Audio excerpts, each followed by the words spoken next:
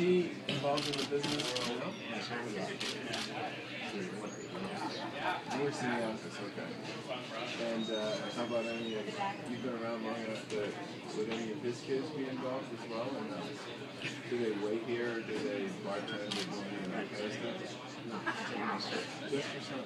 Okay. So is he, the, is he going to be the man at some point? Yeah. Right, exactly.